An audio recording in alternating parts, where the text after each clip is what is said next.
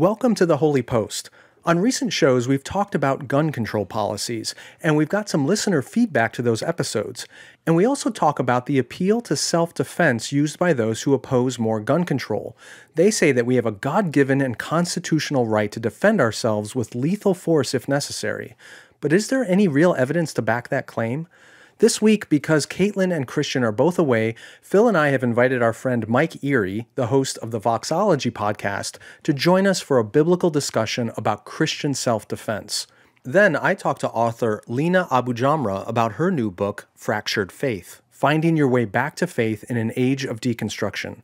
She talks about how deconstruction is often triggered not by cultural doubts about Christianity, but rather a toxic church leadership culture that leaves many of us wounded and questioning our faith. All of that, plus California declares that bees are fish and scientists engineered violent murder hamsters. Just a quick heads up about content for this episode because we are talking about gun violence again, we are also dealing with issues of suicide. So if that's a sensitive topic for you, I'd again encourage you to skip ahead to the interview and come back and listen to the news segment later. All right, here is episode 512. Hey there, welcome back to the Holy Post podcast. I'm Phil Vischer. I'm here with Skye Jethani. Hi, Skye. Hi, Phil. Hi. And we don't have a Kaitlyn and we don't have a Christian because they're both out of the country. So we brought in an Erre. We have uh, no, Mike Erre. Like Mike third is choice. Here. I'm just saying, third yeah. choice is pretty amazing. Um, and I have a confession. I have yeah. a confession, oh, Phil. What What's your confession, Mike? Well, Skye has on his Twitter bio that he is ethnically ambiguous. Yeah. And I just I feel like I need to clarify I am ethically ambiguous. And I just felt Oh. like I wanted Oh, to I wanted to get that out there just to, at the start so we can just sort of warn the listeners. Can you put that in your Twitter bio, Mike? You know, I should and see if Yeah, anyone knows. and See no anyone one- correlates. Oh boy, should we Yeah. dive into that? Should that be our topic for the day? Um, Mike Erre's I can, uh, ethic ambiguity. yeah, I can go anywhere. That could be the Uh-huh. That's Twitter the bio. point. That's the point. Uh huh. Okay. I can get I'm- behind any view at all. I'm, just They'll not just sure. say something. I'll agree with it. I'm not sure Just how I the feel highest about bidder, huh? this. So instead of saying anything for fear of what Mike Erre will say next, I'm going to play the theme song. What's the news that you like the most? Who's your favorite podcast host? If it's breakfast, get your toast. It's Skye and Phil and the Holy Post. Skye and Phil and the Holy Post. With special guest host Mike Erre. Okay, I'm back with Skye and Mike, who went to college together. You don't have to say it that way. You can Say I what? mean, Say you the- there's because you, like Skye, you're excited about that, and then it's Skye and Mike. It's like Oh, when no, no, Jesus no. says No, tax collectors No, that's and how I- sinners. No, no, no, No, Mike, it's it's the not. opposite. He is so done with me after 10 years. He's excited Uh-huh. to have some fresh blood yeah. on the show. fresh blood fresh blood what's your um what's your name on our recording today skye he puts a new name in every week Uh, I think it's Perky McJerky. perky mcjerky Yeah, Perky. that's Perfect. nice Yeah. that's nice because mike you see mike i was i was criticizing skye for sometimes being a bit of a downer and so he What? start he started giving himself um peppy optimistic screen names when we record as a, a form of self-help and self-motivation so this week it's perky mcjerky Perfect. Yeah. yeah I, I feel confident which I, rolling which I into think this. is the is the kind of uh, jerky you make from very optimistic uh, uh, cows. Well, Perky. they- obviously, their McJerky. optimism was not well placed if they're now jerky. No, no. Uh, y- That's fair. okay. So it's been a rough few weeks. We need something that's a little less rough. I need a. I just need some slightly lighter stories. This one is about the state of California, who just made a ruling. You think, oh no, a controversial ruling, probably about abortion or guns or something, and everyone's going to get mad and throw rocks at each other. No, no. Last week, California court ruled that bees can be classified as fish. What? I'm just going to leave Is that, that real? sitting there for a Is that real? Is that the Babylon Bee announcing that? What's happening? Mike, are you th- are you saying that I would bring fake news to my show? Well, Phil, I used to know you but now you have a new screen background, and I'm not sure. Yeah. I'm not sure what's happening. Yeah, I built I built a wall. Phil built a wall. That's a new book that Eric Metaxas is writing. Phil builds a wall. Yes, yes. Uh, California genius. court rules that bees can be classified as fish. A California judge ruled this week that bees can now be legally defined as fish under what a state conservation law. And what is exactly a fish? Is this an an animal that Didn't Matt Walsh have a conversation about this? Did Matt Wall? I, I probably did. I don't know. The decision comes from California's Third District Court of Appeal, which ruled on Tuesday that the California Endangered Species Act can protect bees. In 2020, the Sacramento County Superior Court ruled that the California Fish and Game Commission could not list invertebrates like bees under the California Endangered Species Act. So here's the deal there's an existing structure in California for protecting endangered species under the Fish and Wildlife Act. It they couldn't put they couldn't find bees in there anywhere. And there's a problem because bees are in trouble, and California really needs them as pollinators, and they needed to, some laws to protect bees. So they went back, and, and apparently, apparently, it was hard to like do a whole new protection Mm. act just for Mm. bees. So they had to figure out if they could fit bees in under the existing protection act somehow. So, as part of the larger California Fish and Game Code, which defines a fish as a wild fish, a mollusk, a crustacean, an invertebrate, or an amphibian. So for Mhm, that that's fair. code, amphibians were also fish. Uh, the code's definition of fish created an opportunity where bees could be legally classified as fish since bees are invertebrates. So they got a court to decide okay, a bee is a fish, so we can now protect them. I think this you- is part of the reason why people don't really trust lawyers. I, I was going to say it's it's why people don't trust California. it's like what what, but so it was it was uh, legal pragmatism to try to get some defense Mhm. on the books Mhm. for bees, and the fastest way to go about it. Do you think this is going to make people feel more or less comfortable with the idea of redefining gender and redefining man and woman? You know, and oh, look what the liberals are Listen, doing now out in California, I've the land always of said, fruits and if nuts. you mess with gender, you're going to invertebrates. It is a natural progression. it's a slippery so slope. this is proof. I've been saying this for years, guys. Uh huh. Uh huh. Yeah, they it's a came slippery for slope. They came for the women, and we said nothing. And then they came for the bees, and no one was left to say anything. Skye, so if I Go if- Skye. can I Go, back go up for a second? Peaky. Go No, no, no, no, no. I- i- If we, turkey. I, Oh, I'm Perky. curious what what was in the original statute. Did, did it actually say vertebrate animals are only included here? Like, You- wouldn't it just say animals and bees qualify as an animal, right? It was fish. It was fish. Yeah, but it's bigger than fish Mm. because the the Endangered Species Act isn't just Endangered Fishes Act. I don't. I Right? don't. Is a mollusk a fish? No, that's read- the point. And mollusk was in there. I know, I know. They defined fish um, in the California Fish and Game Code as wild fish, mollusks, crustaceans, invertebrates, amphibians. So it was a very broad definition of fish for the purpose of this act. And they just said, well, technically, couldn't we put bees in there? And one court said no. And another court said, yes, the bee Okay. is now a fish. It's really to be or not to be. I mean, that's the question. Oh, yeah. A bee But, or um, not a bump. bee. But up bump. Okay, I have on. one more story. I have one more story from the world of science, which is a little. This one's a little. That wasn't science. That was not science. Bees are now fish. I Don't think call that's that science. science. I think Yeah, that's, that's science, true. guy. That's true. Okay, You blinded uh, me with science right there. This is in the you know what could possibly go wrong category of oh oh it did go wrong. Oops. Scientists accidentally made a vicious mutant attack hamster. They didn't mean to. So where do you find these stories? It was like, an Like, accident. what do you type into your Google search that These- leads you to stories such as these? I think they These- find him. Stories find me. These Yes. stories find me, That's and do you know why? Do you know why? because Algorithms. Holy oh Spirit. the algorithms. The- no, Oh, the Holy Spirit. Yes. The Holy Okay. Spirit. Is right. are algorithms the Holy Spirit for millennials?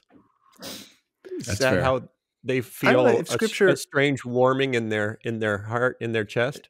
If scripture was being written in this day and age, I'm sure algorithm would have some kind of mm-hmm. analogous spiritual meaning. Just Put like off the old algorithm, put on the new one. Right. Yeah. Right. In a recent study published in the Scientific Journal of Neuroscience, a group of scientists regale their journey to try and use CRISPR gene editing technology to bioengineer an extra friendly and extra chill hamster.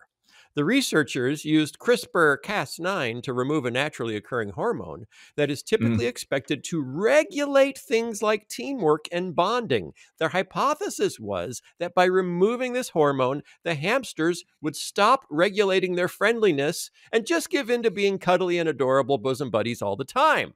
Okay? Wait a minute. By removing the gene that creates bonds and friendliness No. and teamwork, they thought it would make them more No, friendly. that, like regulates it up and down. That regulates it up and down. See, I'm making kind of a fish-like motion with my hand. Mhm, Regulates it up and more of down. a so they bee thought flying motion. they Mm. thought that the the hamsters would then be stuck in the bonding friendly mode. Okay. I think course. is, Okay. was the theory. Mhm. And in fact, that did not happen. The opposite happened. It had the What? opposite effect. The Jurassic hamsters, Park? Have we learned nothing from Jurassic Park? hamsters- Jurassic hamster. the hamsters became incredibly aggressive, territorial, Um. and violent towards other hamsters of the same sex. It sounds like the premise for the next animated kung fu movie. oh yes, yes. Animated kung fu movie. They're all That's- every there's I just saw a trailer for another one yesterday, another animated animal movie where the animals are doing martial arts. It- we had Kung Fu Oh, Panda 1 through okay. 15. Yeah, Now we've got yeah, this other thing yeah. coming out. There's all these so now it's going to be hamsters. Yeah. So do you think do you think maybe scientists should be just a little bit wary of gene editing? Like, okay, it's a good thing they tried it with a hamster and not like a T-Rex. Hey, we brought a T-Rex back. Let's make them more friendly. I think I know how. Let me try. I want I want to know who got funding for this project. Hey, hamsters aren't friendly Oh. enough. We need friendlier hamsters. We, And what- someone someone with money said, "Hey, that's a great project we should spend money on." and what was the the ultimate goal? Like, here's here's our Yeah, thinking. where's If we can going? prove if we can prove this in hamsters, maybe we could gene edit humans to be cuddlier and friendlier. Is that where they were going with it? Yeah. Uh, the whole CRISPR technology, I know that there's a lot of medical benefit from using it Uh-huh. to explore, but it scares the crap out of me. Uh huh. Uh huh. I think I think everyone s- one Christmas, CRISPR at home technology is going to be the hot gift, and every kid is going to get a little CRISPR set so they can do their own gene editing at home, and And a then s- and a salamander. that'll be It's going to be like it's like a crisp- Gremlins. It's Gremlins. CRISPR sounds like the put brand of gene an air edit fryer. toys. Yeah, that's that's the end. All right. Maybe this That's- maybe this had marital applications for one spouse. To gene Friendlier edit the, more the cuddly. spouse. Maybe that was what where where, where this train Yeah. was going. Right. I'm which, just saying, I don't know. which, Which spouse, each of you tell me, which spouse, which partner in your marriage needs a little gene editing to be friendlier? Yeah. Yeah. Honey, we're going to go to a marriage retreat. It's a CRISPR retreat. and one of us is going to come back better. Yeah. Yeah, I'm not going to say who. It's going to be Oh, a surprise. Yeah. This is where being ethic ethically ambiguous is helpful. Uh-huh. Very much. Yeah. Right. Right. Who's friendly? Who's considered friendlier in your marriage, Mike? You or your wife? Because I That's haven't met your wife. I, I know Skye's wife, so I know who's friendlier in that marriage. Who's friendlier in your marriage? It's definitely not the guy named Perky who names himself Perky McPerkerson. It, and it has to Um, do that as a way to try to get him to be a little less dr- dour. Yeah. Mm. Visual Yeah. tacit taciturn. Um uh, I would say I'm I'm more gregarious, but my wife, if you're in with my wife, she's the better friend. Oh, okay. Yeah. I hear you. But she's a she's a she's a li- like limited like span of friends, but if you're in there, dude, you're in there forever. Okay. and so you're you're more all over the room, working the crowd, Working yeah, it, yeah, I working totally, it. totally shocking. Yep, CRISPR Okay. this is what I say. Okay, we did um, on Friday. Skye did a French Friday episode with David French, and they talked Yes. about gun control. And Skye took a position that we need more gun control, and David was like, "Yeah, maybe a little in some areas, but be careful, be careful." And I have to say, I think we got more negative interaction with our audience than any other Hmm. show in 10 years about Pushing back That- against David. yes mm. yes many people not happy with david's take on gun control mm. and wanting uh skye to like you know even just give it to him harder like you you you don't let him get away with that skye Okay, before we get into the, that whole mm. thing, I just want to take a step Yeah. back for a moment. And Phil, you know this well. We over the years we have gotten criticized pretty frequently from people saying you guys only have guests on your show that you agree with, and you need to have Mm. more oppositional Yeah. interviews. And David French and I have been talking for years, doing these French Fridays for a while now, and from time to time we Mhm. do disagree. But I just hope that those critics listen to that episode and realize, no, we don't just have people that are in lockstep with our own views. yeah yeah Um, so I, I, I was kind of surprised by the amount of pushback that we got from this Yeah. episode for David, and uh, but yeah, it's worth Yeah. talking about. It was interesting. So, um, so a couple of things. Someone wrote in and said, "I appreciate the conversation linking suicide prevention to the conversation about gun regulation. However, I sincerely disagree with David French on this episode. What bothers me the most is the statement that there is no data." When there's an overwhelming amount of data that link the importance of reducing highly lethal means to save lives from suicide. And I initially thought David misspoke um, when he mentioned that in the Australia gun buyback program, which we talked about on the show last week, it didn't result in a reduction in suicide, and suicide in Australia kept rising. So I went back and double checked checked the data, and he was kind of both right and wrong. Um, the Rand Corporation, you know, did a meta analysis of all the studies, and their conclusion was, you know, the strongest evidence is consistent with the claims. I'm quoting them that the National Firearms Act caused reduction in firearm suicides. So suicides by firearm reduced significantly. Then so I, then I went and said, okay, so what about overall suicides? Overall suicides uh, shortly after the Firearm Act went down and then started going up again and have been roughly even in Australia for the last, you know, 20 or 30 years without a whole lot of variation. So it is both true to say um, the firearm buyback in Australia reduced gun suicides dramatically, had a medium term reduction on overall suicides, but people apparently. I mean, I mean, suicide is so dependent on so many things, you know, mental health, uh, social trends, social networking, you know, that it's hard to say, well, if there weren't any guns, no one could, would commit suicide. No, people do find ways to commit suicide. Um, Mhm. but it's it's so he was kind of right and also kind of a little bit not right But uh, correct me, Phil. Though, wasn't the the Australian law limited to like assault rifles? It was specific kinds of guns it took about 20% of privately owned guns off the streets and and um, Wow. um, saw a reduction in firearm suicides of almost 50% so you know taking 20% of the guns in a in a focused way in a, and it was also high capacity magazines and assault rifles and i think there were some new new handgun laws. It was a, it was a pretty wide ranging group of regulations. So there seems to be a fair amount of evidence that certain types of gun death decreased significantly in australia by taking just 20% of the the privately owned firearms off the street. It did not end up uh, reducing suicide rates long term but people can find a way i guess is what you learn from that um Phil, the I, next I have a question. Oh, I'm sorry. Go ahead. yeah no you go you I didn't know if you were going to go to other objections because I didn't know if the objections Yes. that were lodged were very specific or were they more uh, about the some, of were general claims he was making. um some were general the, of felt that he was hiding too much behind the Constitution. It was like, well, we can't do anything because the Constitution, Constitution Mm. says. Mhm. Um, it- and that's you know an interesting argument because obviously we've changed the Constitution before. There are these things What? we call um, things we call amendments, what?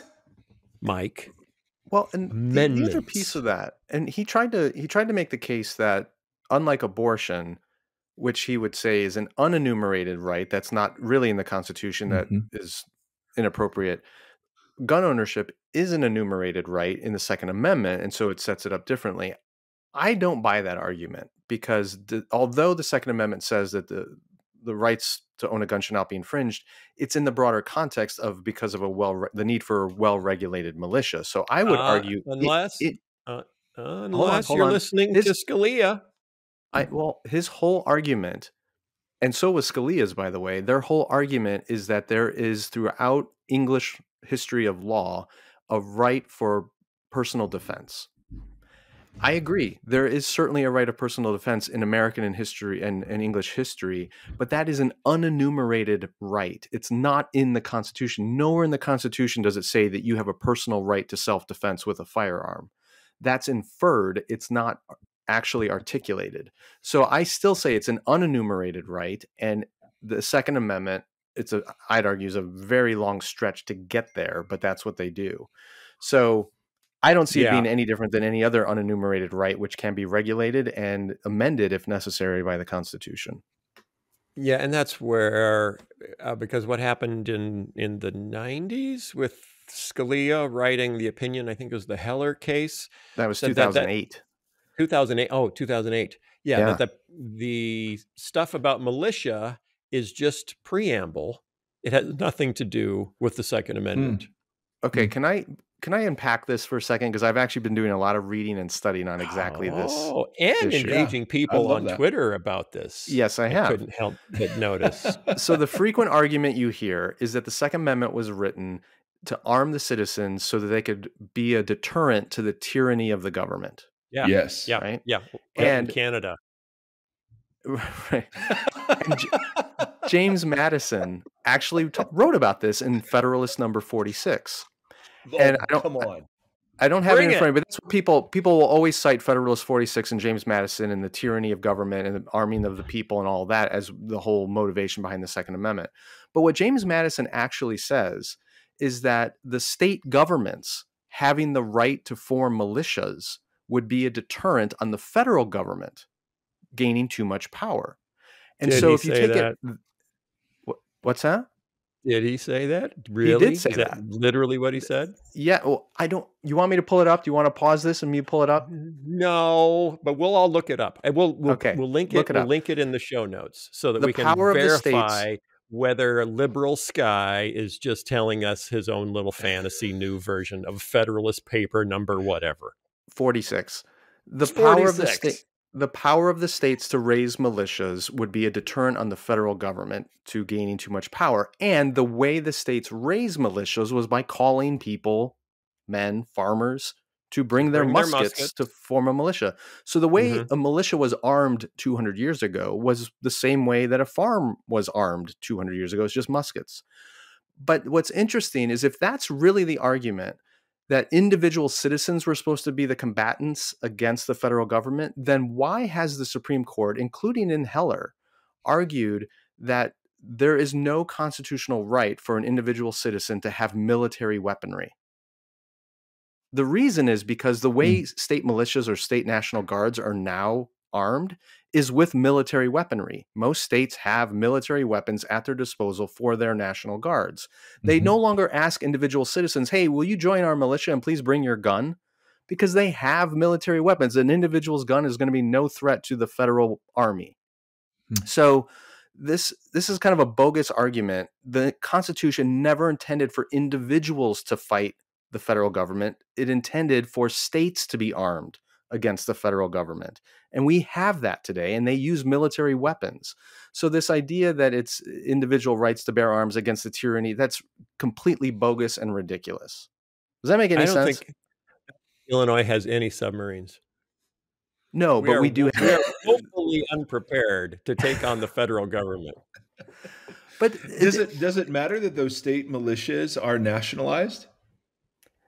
Uh, I think since the Civil War, that's been the model because what happened in the Civil War is state militias essentially band together in the South and went to war against the federal government and they got killed. They got crushed. So Right. that balance of power shifted completely after the Civil War. Mm. And Madison's original argument doesn't really hold up anymore because that's what was tried. The states tried to keep the federal government in check and the federal government won. So I'm not sure it applies anymore.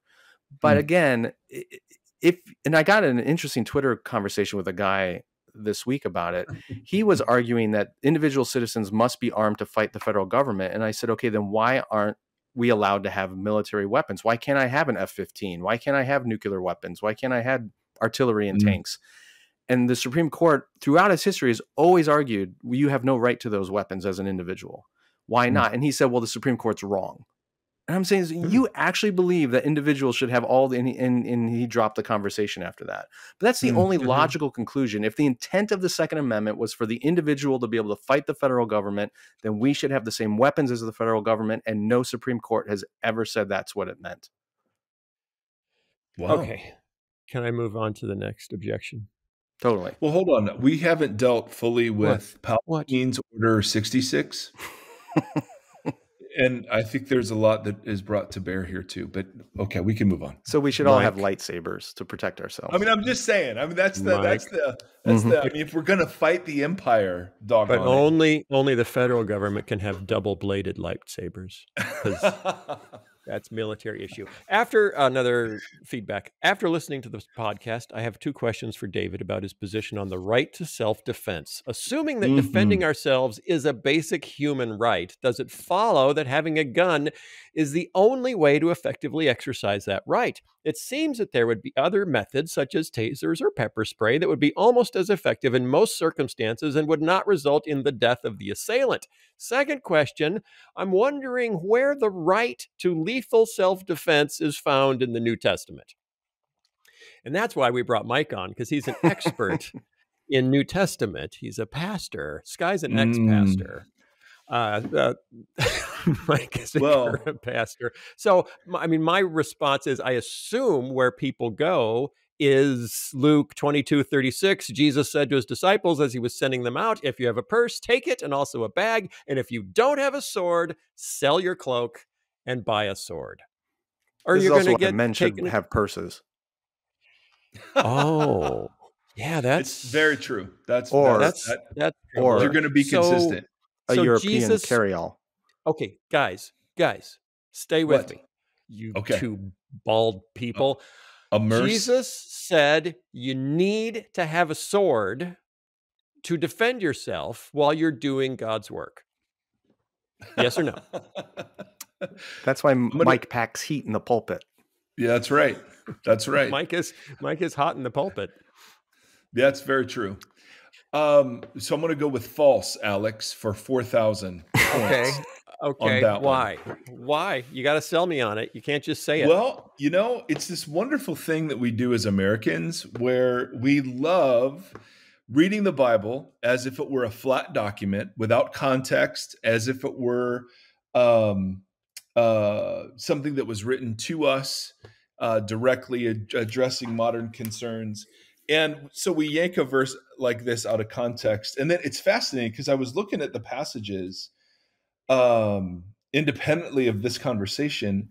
And um, in each case, Jesus ties the sword thing to fulfillment of, of prophecy. And in, and and as Luke goes on, um, uh, he says, "If you have a purse, uh, take it. Also a bag. If you don't have a sword, sell your cloak and buy one." And then he quotes Old Testament. It is written, "He was numbered with the transgressor transgressors." And I tell you, this must be fulfilled in me. Yes, what was written is about me is fulfilling or is reaching its fulfillment. The disciples said, See, Lord, here are two swords, and that's enough, he says emphatically. So the swords were not for self defense, even remotely. What this was Jesus being aware of the prophetic fulfillment, as he is throughout the entire crucifixion story, of all of the things that are happening around him that were foretold earlier in the scriptures. So, so the stretch of hey, he told his disciples to get a sword, guys, means we can have guns. Is not it's ridiculous exegetically um, but it also betrays kind of a modern hermeneutic that Americans employ to justify things that I think Jesus clearly speaks against. So, Mike, one of the interpretations I heard, which I think you might be alluding to here, is that Jesus is foreshadowing his own arrest and the mock trial that's going to happen in his in his crucifixion. And part of what he does to kind of ensure the outcome that he knows needs to happen is by his little group of buddies there having a couple of swords on them, Yeah. they could be accused of being a military threat, of being a, a violent insurrection, which would then provoke Roman authorities to justify capital punishment for their leader. Right.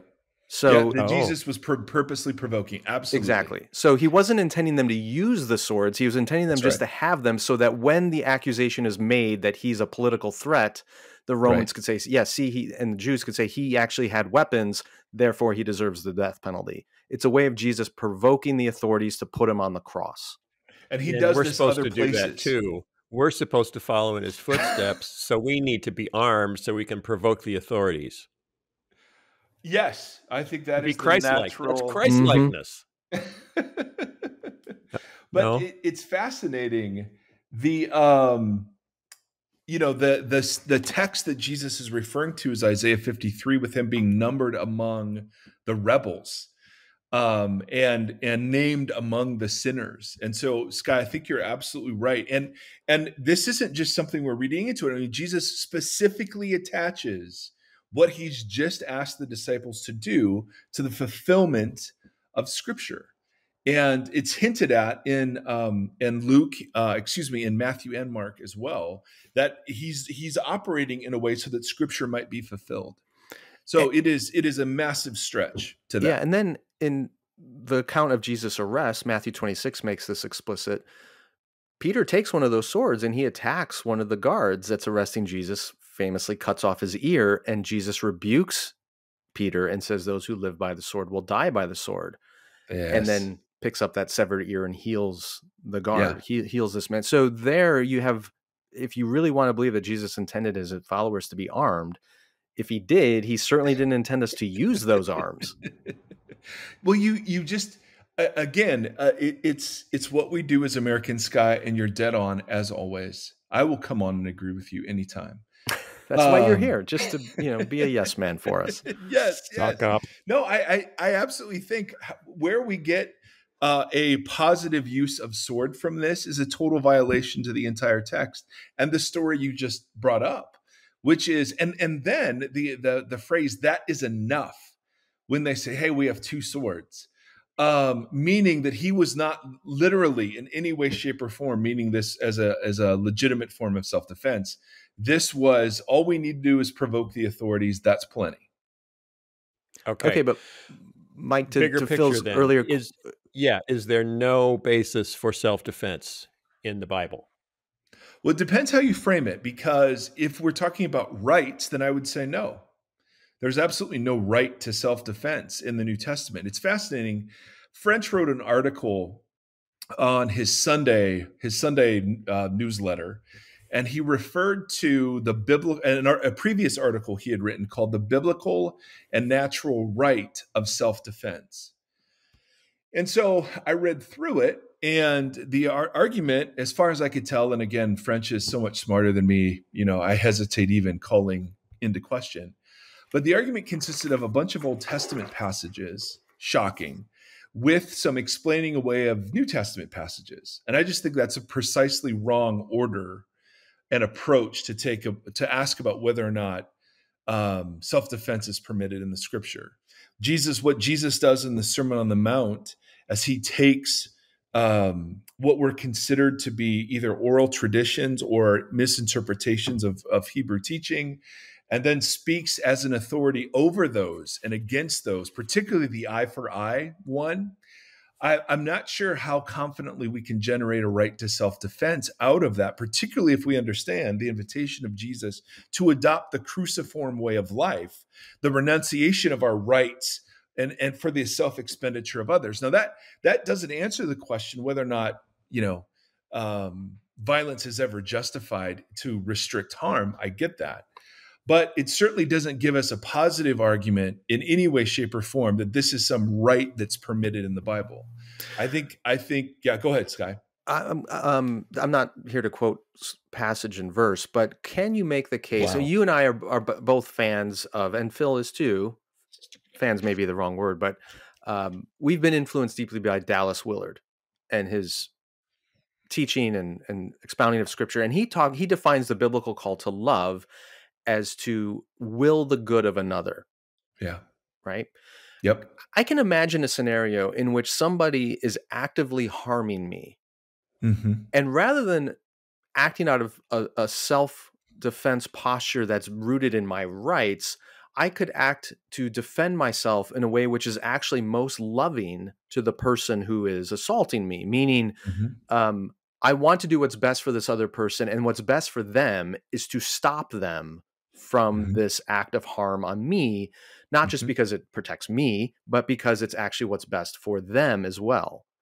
Mm-hmm. So can that be a, an argument for self-defense where it's not rooted in my rights but it's rooted in love for the other who is actually unknowingly harming themselves through their own actions? Sure. But how do you draw those lines? I mean, if we grant Yeah. the theoretic yes, theoretical yes, then then how's that go? Like we had this guy uh, my daughter was playing lacrosse and we had this guy hop a fence. He was bleeding all up and down his arm. Young kid, no shirt.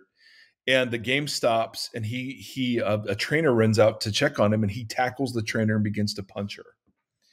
I run out um, with great speed, like a gazelle amongst the lilies, and um, I jump on this dude and restrain him. I don't punch him. I don't kick him. I restrain him. Right.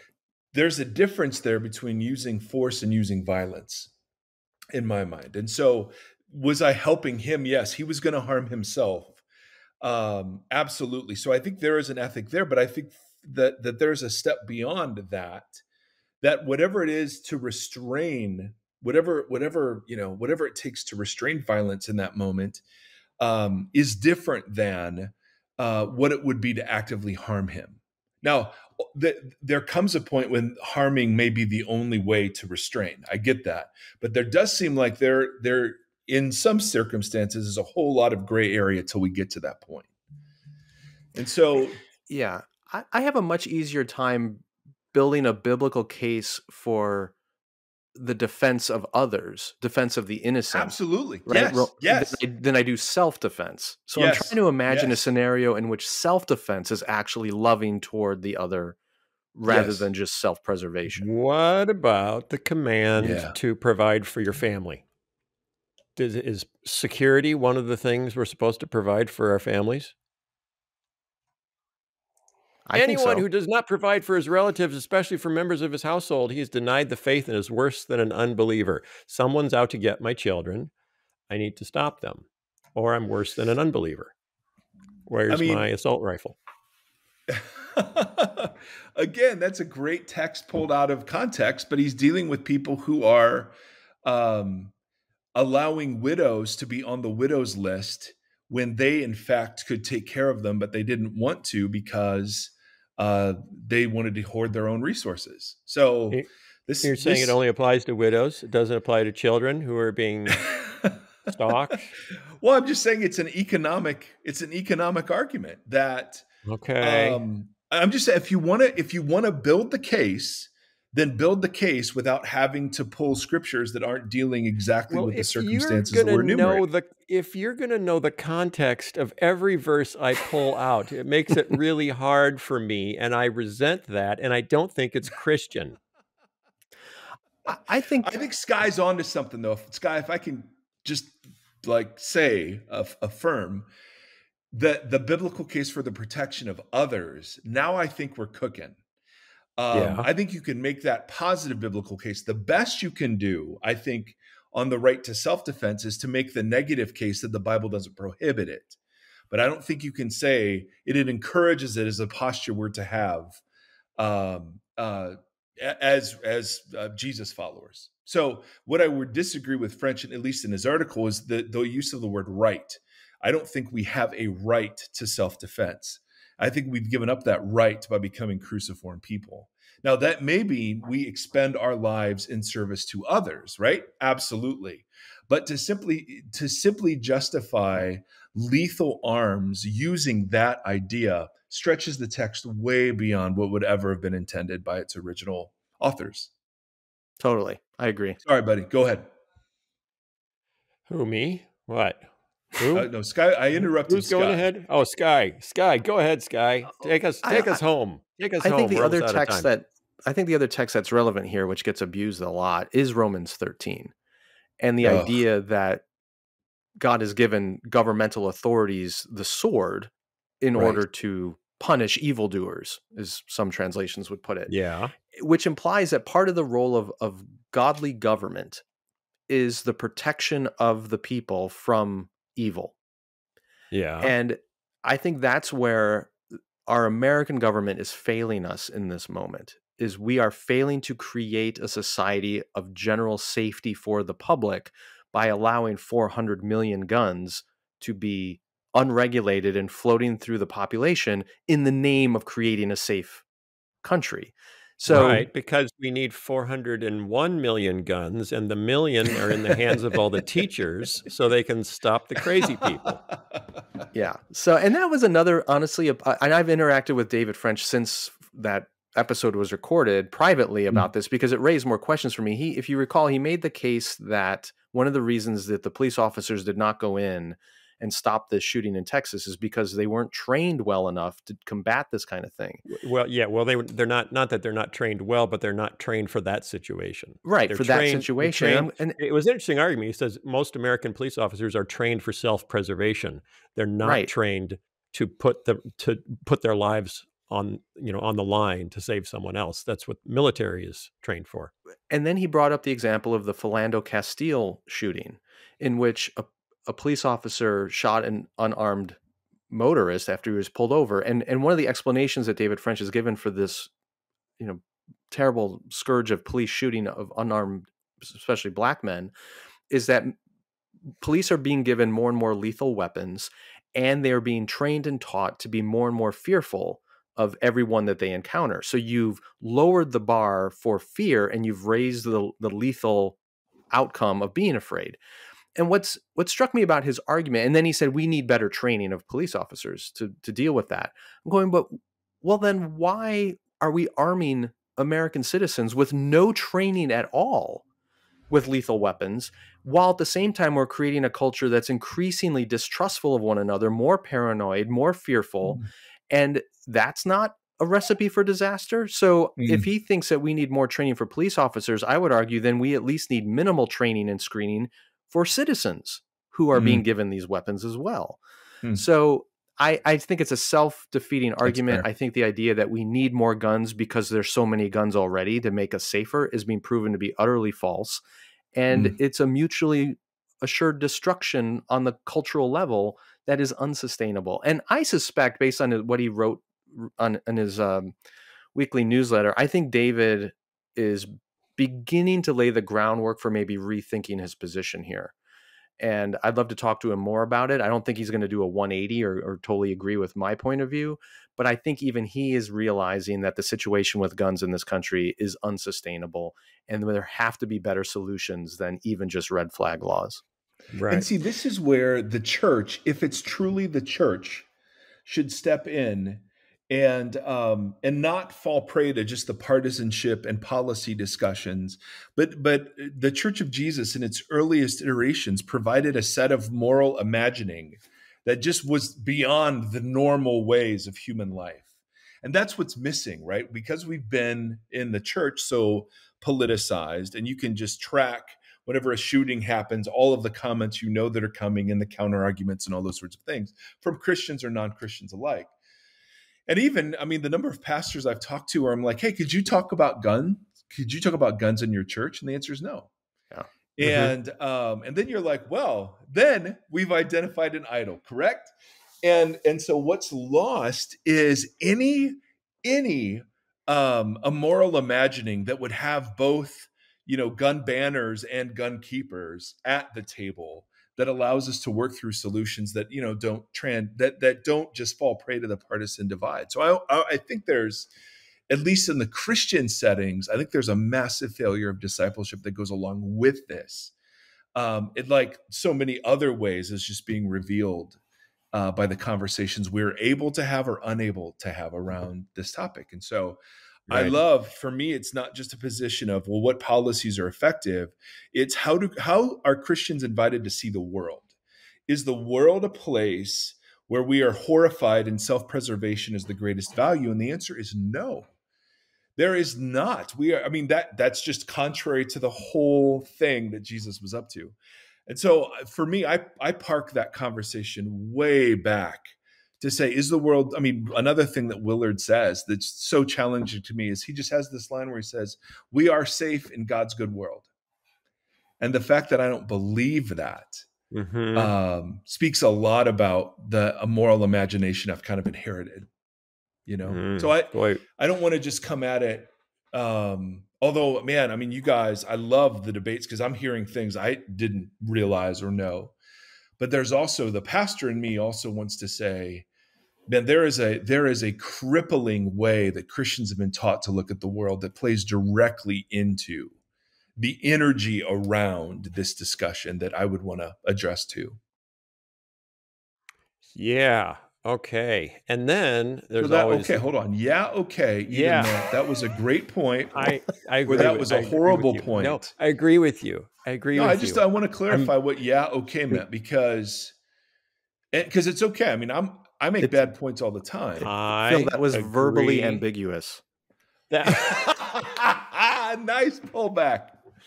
we were Nice, discussing before we started recording that Skye is ethnically ambiguous, and Mike wants, for some reason, wants to be considered ethically ambiguous, and I am Yes. verbally ambiguous. That's great. I do always Yeah, want to raise the question why, when it comes to abortion, do we have policy ideas? And when it comes to gun violence, we have thoughts and prayers. And that's oh, all so good. we've got. Can't we have thoughts and prayers for any death or tragic event and ideas for how to move our feet and our hands to do something about it? But Phil, or laws prayers don't that will get ideas for how to do something about it, Skye. Laws don't work, Phil. Don't Remember? you can't don't even- legislate against evil, guys. Yeah, I'm we- we- sorry. Don't even Can't do that. don't start. Was yeah. What? But you're right. If if we really if you want to go with that crazy argument that laws don't work and you can't legislate morality, then why don't we take that same posture towards abortion? Because it's wrong. Right. There you go. Um, yeah, I, the whole prayers, thoughts, and prayers. I was actually tweeting about this earlier today. Um, there's this implied criticism that prayer is the opposite of action, hmm and that's, that's not true. correct. Prayer is the opposite of apathy. And if you're Hmm. using thoughts and prayers as a way of not acting, then That's you're it. doing it wrong. That's You're not not praying. that's not That's what people object to. That's right. Right. So uh, the the call is yes, we should be people of prayer, clearly, and in our prayer we ought to be guided and empowered by the presence of God to act. Yes. Prayer is a form of co-partnership with God in his work in the world. That's right. So if this is a problem that human agency can move the needle on, Come on. then we ought to prayerfully act to move that needle. But it can't because Constitution. Which was written by people and can be No. amended by people. I saw a picture of It's- Jesus handing it to Thomas Jefferson. Well, you know what? Then it shouldn't say "we the people" in the first line. It should it should say "I Oh. Jesus Christ," but it doesn't. It says "we the people." fair. Yeah. Well, that was a mistake on Jesus's part, obviously. So, okay. Uh, Mike, thanks for sitting in today. It was awesome. Oh, you guys are great. Hey, if you like Mike, if you like Mike, Well, he has his no, own no. podcast, Voxology, Voxology uh, dot com. Is it? Do you have Voxology? No, Voxology, VoxologyPodcast.com, baby. voxologypodcast.com or just look for Voxology Podcast wherever fine podcasts are listened Are to. And Well, we'll try yes. to have you back before too long. Well, we're thinking about renaming it the Holy Most, Yeah. and yeah, um, sure. so you may want to keep a lookout for that. I'm not sure. Hey, sure. Or we, uh, could, we, could have a, we could have a show where where popular evangelical pastors talk about their latest accomplishments called the Holy Boast. Ooh. or we could we could bring in we could bring in comedians and just make fun of people and call it the Holy Roast. Oh, I kinda like that's that idea. good. Yeah, that's good. Scott. Uh, speaking of all these uh, new things, uh, Phil, you and I, I think we're supposed to talk about some new merchandise that we've just Are we? rolled out. Are yeah. we? Whoa. Yeah. Is it out? There's some new. It's our 10th anniversary. Um, Mike, did you know that it's our Yes. 10th I did, I did And fif- so 500th episode. Yes, do yeah and we're doing some 10th anniversary merchandise so go to theholypost.com and you can see the 10th anniversary merchandise exclusive limited edition it will not be on sale forever collect it now trade with your friends show up at school with the latest styles be the first on your block and then you can wholly boast about it to your you friends sell and you could sell bread and call it Holy Toast. yeah okay I mean, I can keep think going all day. i think you I went keep too going all far day. uh, no you could i don't an island and call it the Holy Coast. I know. I don't know. down the alphabet. No. keep going. No. Stop. Holy Faust. Okay. Uh, thanks, Mike Erre. Thanks, Guy Gittani. Thanks, all you listeners, for supporting us on Patreon and for showing up every week. And we will be back next week with a different special guest who is Oh. just just as smart and good looking as Mike Erre, but has a way better laugh. So you can you can try to figure out who that is and come back next week. And we will see you next time. Thanks, y'all. The Holy Post is brought to you by our listeners who support us on Patreon. This episode is also sponsored by our friends at Faithful Counseling. This is Phil. My wife Lisa and I got married young, and we were a little bit immature. One of our parents gave us, as a wedding gift, a year of counseling. At first, I thought, wait, what are you saying about my mental health? But the ability to talk to a counselor as issues came up in our lives and in our relationship was a huge help. Faithful Counseling is a Christian counseling service with more than 3,000 licensed therapists across all 50 states, with access by video or phone sessions, or even chat and text. With expertise in depression, stress, anxiety, trauma, family conflicts, and more. You can ask for a new counselor at any time, and financial aid is available for those who qualify. Best of all, Holy Post listeners get 10% off your first month from our sponsor, Faithful Counseling. So what do you got to lose? Give it a try. Go to faithfulcounseling.com slash holypost. Just fill out a questionnaire to help them assess your needs, and you'll get matched with a counselor you'll love. That's faithfulcounseling.com slash holypost. And now, back to the show. Deconstruction has become a very popular and much debated topic among Christians today. For those who grew up in the evangelical subculture, many are questioning the beliefs and practices they've inherited from that subculture. Some critics of deconstruction say it's a dangerous trajectory fueled by a culture that's questioning everything about faith and Christianity. But then there are others who believe that deconstruction is ultimately a healthy practice that helps us discern the difference between true faith in Christ and simply cultural frameworks that we've inherited. And then there are those who see deconstruction as a natural response to a sometimes toxic and unhealthy evangelical church subculture. I'd put my guest today into that third category. Lina AbuJamra is a pediatric ER physician who has spent a number of years on staff at a megachurch here in the Chicago area. When that church and its leadership imploded with significant scandals and a broken trust, it sent her into a season of significantly doubting her faith.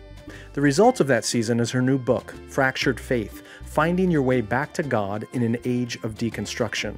She came out of it with a faith that was actually stronger than before, and the wisdom that she's gained is now being shared with others who are finding themselves in a season where they are questioning everything. My conversation with her covers all kinds of topics from toxic church leadership to missed expectations to a proper view of discipleship. And what does it mean to really own our responsibility for our own questions and doubts? I hope you find this conversation helpful, and I have no doubt that you will find Lina to be both passionate and energetic about this topic.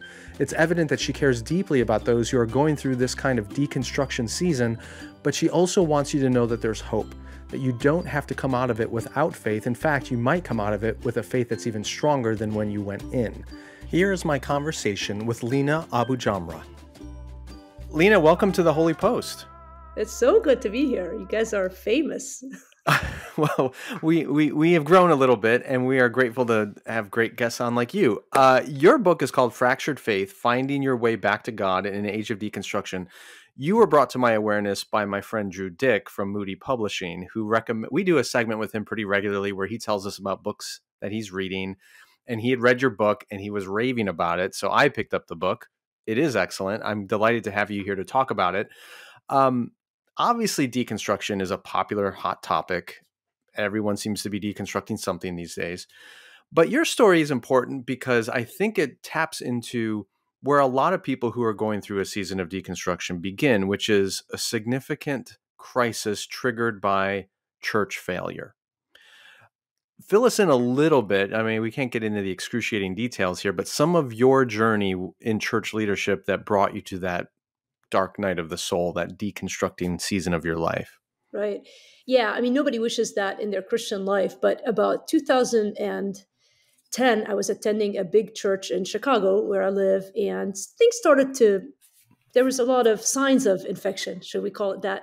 As a physician, I guess I could use some of these analogies. But basically, it was evident there was something wrong with the leadership structure. And, you know, for two to three years, I watched it unfold and prayerfully sort of thought about what was the right thing and sort of gave the leadership the benefit of the doubt. But things only got louder the, the closer it got to 2013, which is when I eventually walked away from the church. And it was really tragic because even looking back, I think, like, why are these things, why do churches implode? And I think it's it's not sudden it happens over time. And so for me basically i tried my best to stay in the i was working at the church. In fact i was practicing medicine in the pediatric er and i was running um, the women's ministry at this big church. And so i was very vested. I was very much on the inside circle sort of if you looked at the a lot of these mega churches have tiers of you know getting closer and closer to the pastor. I would say i was very very close to the pastor and uh, and for whatever reason i mean I, how how that all worked out. But to the point where I, I was vested in trying to stay, but the evidence became so powerful against any kind of accountability in the leadership, causing hurt to many. And then things started happening that I just couldn't, in good conscience, like be like, I'm going to stay here and accept this. And so I left, and I knew leaving it wouldn't be easy because I was so close to the inner circle. And I, I, I, had seen how the pattern of when people would leave, how they would be treated. So I was aware enough. I had been in the faith already for much of my life. I mean, I was already now in what my 40, early 40s, and I had been a Christian as a child growing up in Lebanon. And so I wasn't new to the faith. I wasn't new to church problems, but this was a different caliber because this pastor was very well known. And because as I chose to leave and sort of looked at the evidence and decided that those who were speaking against the leadership were right, I realized that nothing immediately bad happened to the leadership structure. So now you sort of make this statement by leaving of saying, I don't agree with what's happening. And you sort of anticipate because you've been prayerful about these things and you're trying to do the right thing. You're hoping that God will sort of make everybody see that indeed what I've seen is common to everyone. But yeah, if I can interrupt you, I want to quote you from your own book here because I think you say it really well. This is in the introduction, page 17. In those early days, I believed God would step in and do something dramatic to make everything right that. And it's like i didn't expect much from man. I mean i'm cynical enough to believe that we're like all broken but i thought like god would do something to what was clearly a sinful pattern of behavior. And and it didn't change. For years six years it it looked as if they were all they meaning it becomes an us versus them. As much as you don't want it to be that it looked like they were succeeding and flourishing and growing and all these parameters that we hold so valuable. And I started the path in what is now I can look back and refer to as the dark night of the soul. And at the time, we didn't have these words that we do now, which is really, I entered a, se- a, se- a season, I should say, of deconstruction.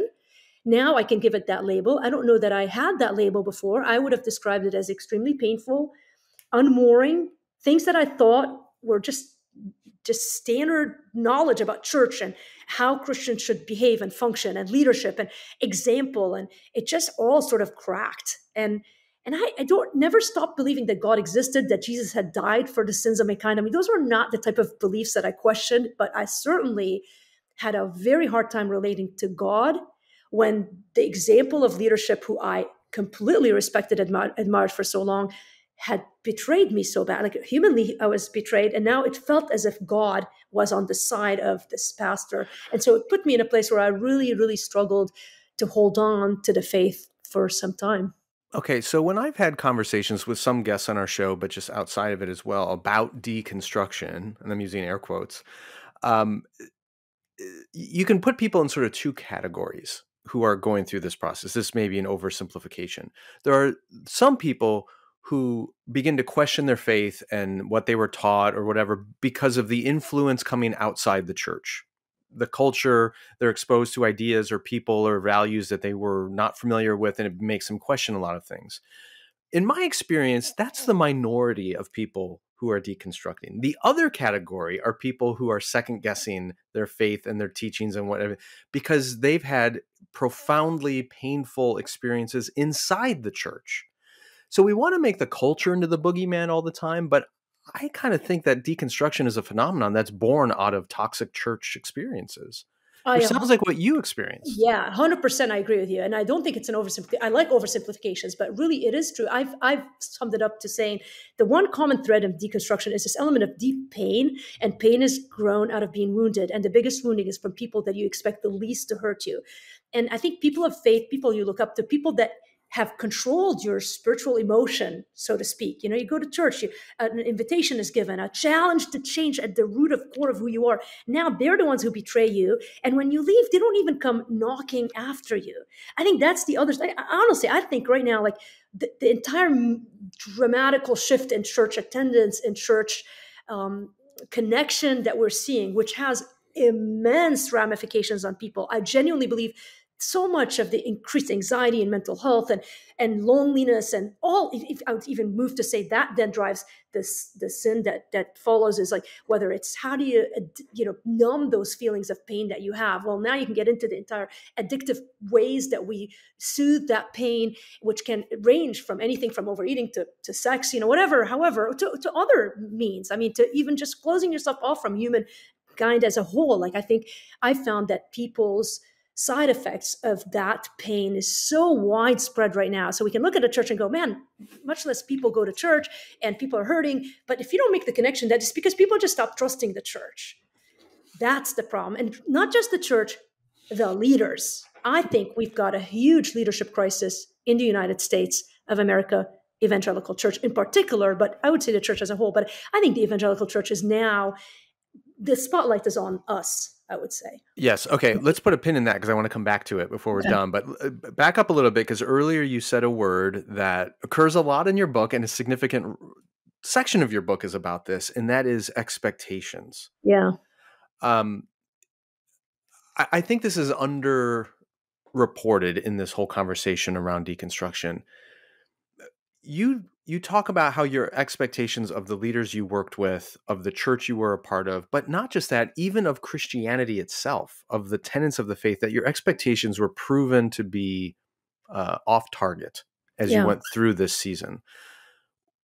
Talk about some of the expectations that you received in your formation in the church that you now look back on and realize those were false, they were wrong.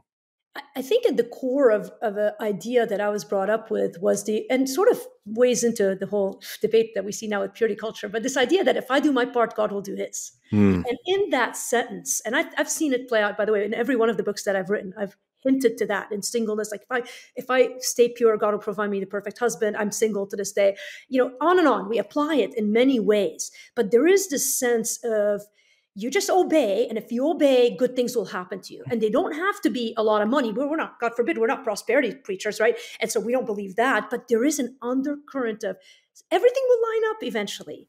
And honestly, it's unfair because I don't think the Bible really teaches that in the short run. I mean, it does teach that things will work out in the end, but there's like an 80 year span where things might be really bad. And for Jesus, it was only 33 years. And so I think, you know, somehow, even if it's not uttered that way, there's an example laid out. And I think in the last 10 years in the United States with the megachurch movement, we have seen that on steroids modeled. And in fact, I went to a church where the leader would say, healthy things grow and that is simply not true. Well, I mean, you're just, you're a physician. Cancer grows. Absolutely. I mean, it's you can have it's it was but you but you're so brainwashed to a degree that you just nod your head and you look in your life you start squaring off the parameters and this is where i think culture plays a part because i think churches and churches that have grown strategic you know worldly culture and worldly ideas have definitely impacted the way we do church and what we consider successful. And you know, obviously, the American dream has seeped into the church, and and and I think that's played into our politics in church and our entire you know dynamic of of. And, and that can, I mean, again, that can play out to an extreme prosperity gospel or a much more subtle one, which was what I grew up in. So another way of putting this is that if we, I mean, I'm assuming we're fairly close in age. I'm in my mid to late 40s now.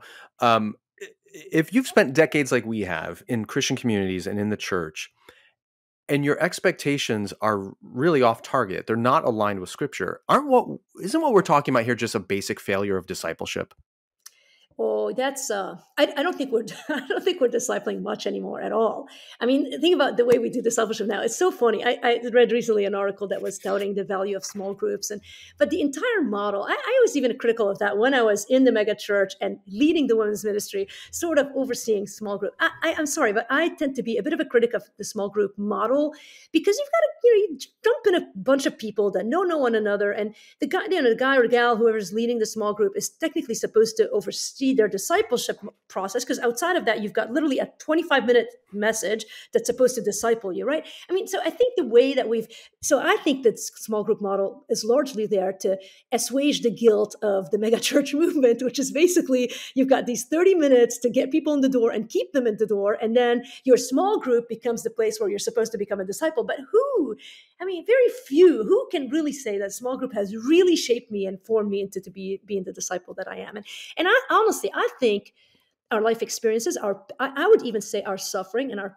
painful places are are one of our bigger disciplers, but we don't understand that going into it. We don't not just do we not understand it. There's something in us that doesn't want that, and maybe we are let, sort of confused in that. But after I've gone through suffering and I've seen its powerful discipling means, I've been able to go, my gosh, of course, this is what the psalmist says. Like he was happy with tribulation, not because he was happy with tribulation, but because he saw the fruit of it. And and you look at the New Testament and James and you know talks about suffering in that fashion. And I just don't think that's genuinely taught. I'm not saying you can't be a disciple without suffering, but I see how expectation, going back to that word, that I think you're right. I do believe that word has to be understood and and in many ways destroyed because I genuinely believe that if we had biblical expectations, we wouldn't walk around disappointed in our Christianity, which is where many of us have lived. So it sounds to me, if I'm hearing you correctly, that we there's kind of a, a, a perfect storm that's leading to deconstruction and disillusionment, and that is we're shaped by an American culture and society with a whole lot of expectations that are not biblical, including the ones that if I do my part, God will do his, and my life will be defined by success as I've come to define that from American culture. So we bring all that into the church. That's error number one. Error number two, then, is the church, at least many churches, does very little to correct that error. And perhaps the icing on the cake, the third great error is then in many churches, it only reinforces that error through a yeah. failure of discipleship and just lets us stew in it, which is setting us up for disappointment, disillusionment, and then ultimately deconstruction and a 2B and an example of leadership that is modeling yeah. modeling the cultural aspect of all of this. Okay, so let's go to that. Let's go back to that leadership thing that I pinned earlier. You talked about that there's a crisis of leadership in the evangelical church in America, and you experienced that very acutely and up close. When you step away from your immediate circumstance, your your presenting symptom at your church, and you look broadly at the American church, how do you diagnose that leadership crisis? What do you see as being the root of it? You know, I've always, when I've talked about my book, I've always sort of referenced people leave churches. They've left churches for decades. This isn't new. People get upset. They leave. What's happening in the United States in the past, let's say five to 10 years, maybe seven years more narrow, you know, since 2015 on, which was exacerbated by COVID, but like in this era, it's not just one person leaving one church with one bad leader it's really becoming it's the norm. It's just another day another crisis. And and you can you know you can be like well that's just one. There's many little pastors and little home churches. Of course i've gone to them. I still go to them. But but that's you can't like i, I think the the trend in american christianity is now either pastors burn out and leave those small churches or they grow and they implode. And there's so many so many that there is something intrinsically wrong. I mean, I mean, even as we speak now, we're a week after the SBC blowout, right? I mean, so this is like ongoing. This isn't just one or two bad cases. This is systemic bad we want to protect this what they are calling the institution of church but really it's it's it is that it is an institution it is not the body of christ i think almost the fight that the leaders have taken has been to protect this this human made institution of church as opposed to the true body of Christ, which is why, like we are talking a little bit before the show, you're in a, you know, people who now go to like little home groups and whatnot. Those home groups are flourishing now because there's an understanding and there's a wrestling that I see even with my former church mates who now go to, you know, some of those home group churches that's different than small group. This is really a home church where you're doing life with these people. You don't have a superstar pastor coming on the weekend. You're with these people, you're experiencing life, you're walking through the scripture and prayer and breaking of bread. And there's a difference because that isn't true understanding of what church is. I'm not saying you shouldn't meet in a church with 100 or 1,000 or 10,000 people, but if you don't separate the institution of church and your attempt at protecting that, as the SBC, as an, as an example, just did for decades and years at the cost of many lives that were speaking the truth and were ignored. And if you can't separate that from what the biblical true bride of Christ is, which is us, we, you, me, all, I think until we can see that clearly, I don't think we can really fight for the church. So it reminds me of a story uh, just before COVID hit. It actually was March of 2020, right before the shutdown. I, I spoke at one of the last conferences that I went and traveled to speak at because there were none after that. And it was a, a mega church. And I was one of the few speakers who was not a megachurch pastor. And at lunchtime, we were all sitting around all the speakers, eating our meal and kind of conversing around all the different crises that had emerged and uh, including your church and other churches in our area and and every single pastor at that table had been a part of a megachurch, including the church we were sitting in that had a, a massive crisis of leadership because of some huge failure and as we're all swapping these stories and, and talking about our own experiences with them i asked the question of the others at the table uh, do you do you people think that this is a case of just uh, bad character, individual bad apples, as we say, or when you look at the number of these stories, is there something systemic at work here? Something that's structural and systemic? And it was kind of shocking because around the table it was, oh no, no, no, no, no, no, no. It's not systemic. It's it's not about how we do church. This is the failure of individual leaders to have accountability or to build their their character or to commune deeply with Christ and certainly those had to be components but I was kind of struck by their reluctance to accept the notion of a systemic problem and they want to just make it all about it's a little bit like gun violence that we're seeing right now yeah. in the wake of another yes. mass shooting right oh no we don't have a problem with guns it's individual bad actors it's people with mental illness only I'd argue we have a both and situation going on here, just like Can in church. Extend that to race and the issues with race. I mean, I think again, right. same thing. I mean, these are all. Right. I, I, do think there's a systemic problem in the United States as it pertains to church leadership. I do, and I think that's. I think it's harder to resolve it if you. I mean, you got to admit first to the problem, but it is a harder cancer to fix when it's not widespread. So it's easier to be like, oh, just one apple, we're fine. Don't mess with us. But I, I think until a, a, enough leaders of godly biblical churches christ-centered honoring churches get together and understand that and are willing to acknowledge the severity of the problem. I just don't think we're going to get any kind of cure. And i think the cure is there. We know the cure. His name is jesus. And like i think you know why don't we why don't we change? Even i mean to me it's very frustrating. I, I would imagine this is when people who are deconstructing even now like i'm sort of out of that season i guess. But i've been so changed by the process. But i think you know I think it would be so hard to watch even the most recent debacle of the SBC and like my goodness, like, why aren't people leaders running for a solution? Like, it just, I feel like we're like Washington. Like, it takes so long. Like, really, guys, like, repentance, really, like, God can change everything in a moment, in a second. And why are we dragging our feet on doing the right thing? What, what are we worried we would lose?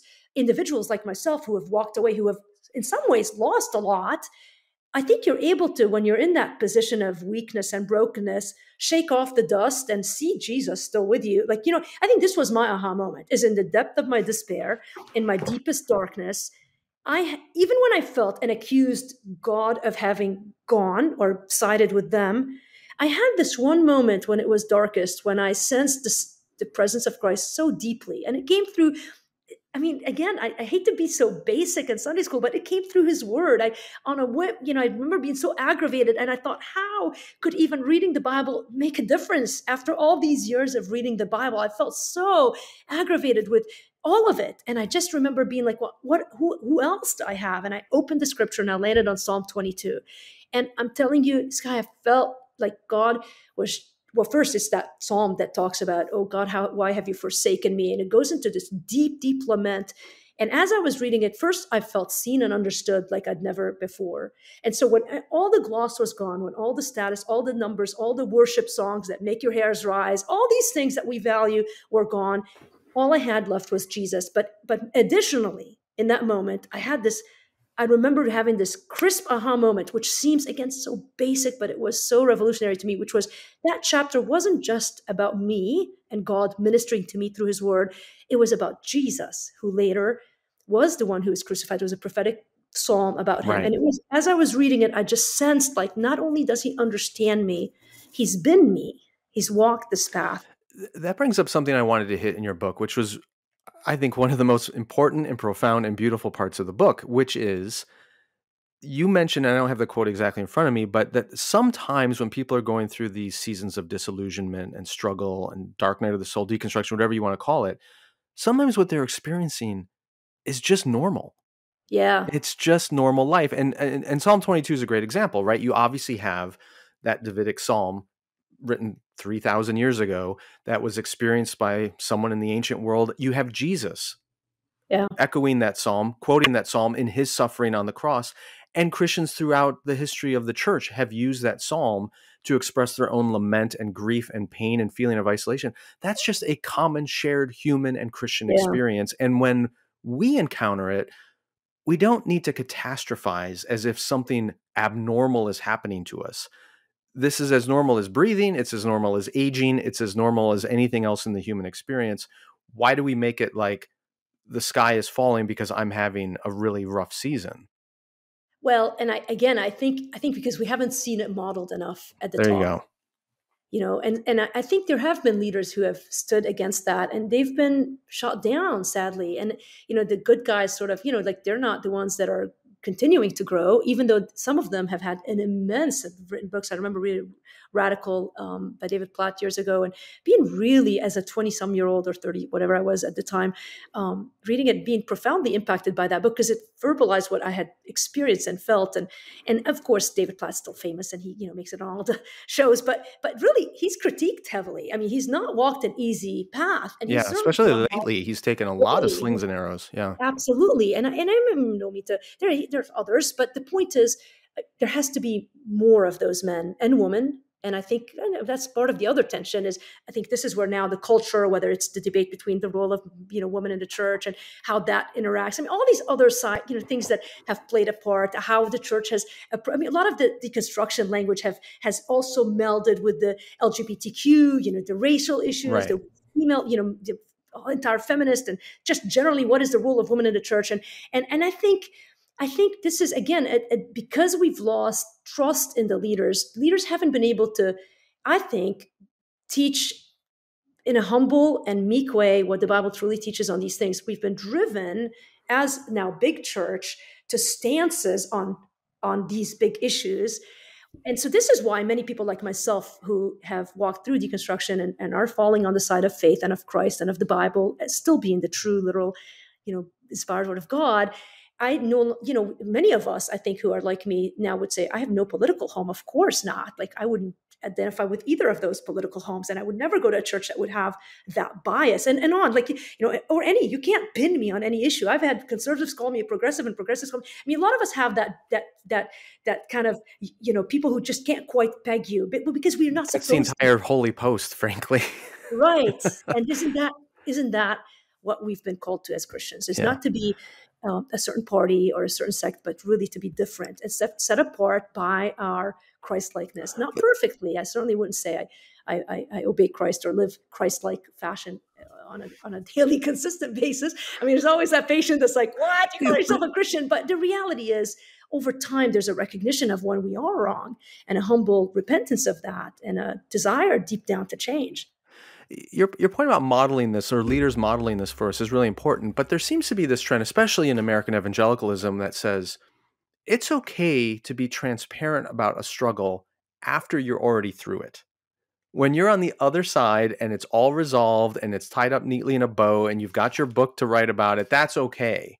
But when you're in the midst of it, you better darn well keep your mouth shut you can't be honest and transparent about the struggle you're having at the moment. And I know plenty of leaders who feel that way that they have doubts maybe it's not pro- like doubting the existence of yeah. god or, or, even christ but they're they're doubting smaller elements of the way they've been taught or their faith or the model of the church or maybe some cultural or political stance that they thought went hand in glove with the with the gospel but doesn't and they're not allowed to express that because it'll blow up in their face yeah you know i i think when you care enough about living a holy, godly life, you're less concerned about the ramifications of living an authentic, honest life. I, I, I still tell people, like, I, I, would certainly not put myself in a category of someone who no longer has questions. Sure. I think this is going to be the state of affairs. I have tensions and questions and struggles that continue. You know, I still wrestle with sin. I still wrestle with why God allows things to happen. I mean, things that sometimes have big ramifications on my life and other times just annoyances. Like, really, God, like you looked like you were going to fix it. Like, I still it's okay to admit that to people. It's freeing. I think where I would challenge an individual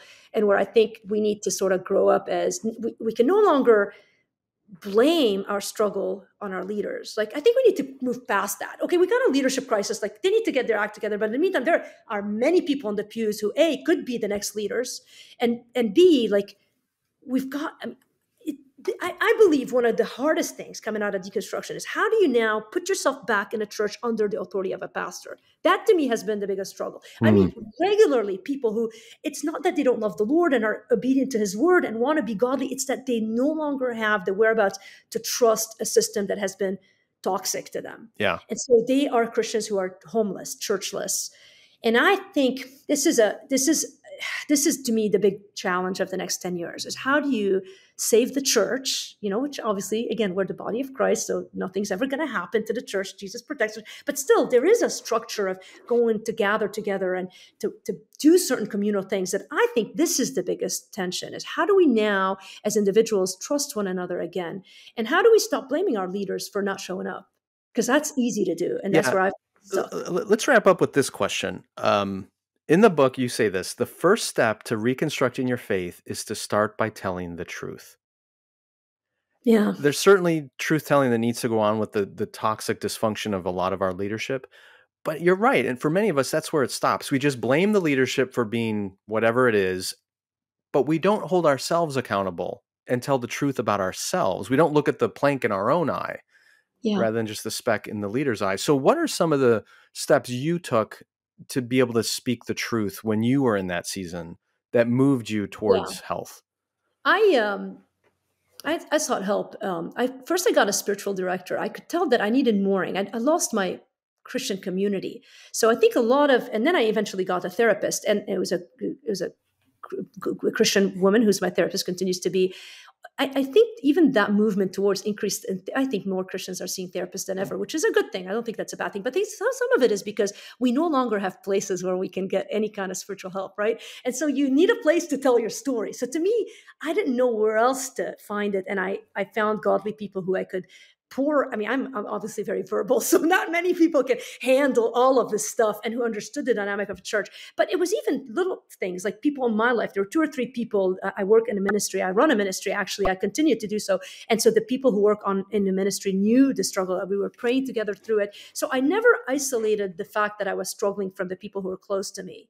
And we continued to show up. I didn't quit the ministry. I, I didn't you know there were moments where i'd feel hypocritical but i understood that deep down my desire was to find the truth to be in the truth, to honor the Lord. It's just that I was genuinely struggling and they just stayed the course with me. And so I think you find that two or three people, if you can't afford therapy, fine, just find, again, my sister was one of them. My assistant is the other. Like, and so it doesn't have to be a lot of people, but one or two people that you can genuinely who, who don't have anything to gain from this who are not trying to sway you to one side of the political debate or the other who genuinely want you to find that peace that is promised to us through christ and and and if it means going to therapist by all means start going. And now i still go to the therapist because she knows so much of the story. It's easier to keep telling her stuff than to start fresh with you know but and then eventually you just integrate back in because you realize like you're god still loves you and you're still you like nothing nothing has changed after all these years. Like the truth is that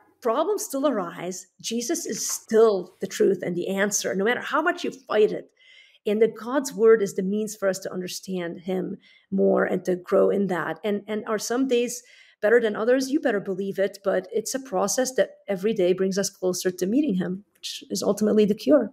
Amen Lina AbuJamra, thank you so much for the book. It's called Fractured Faith Finding Your Way Back to God in an Age of Deconstruction, and for your honesty and willingness to share your story. I know lots of people who need those guides and the people who are a few steps ahead of them on this path, and, and you've proven to be one of them. So we appreciate that. Thanks for being here. Thanks for having me.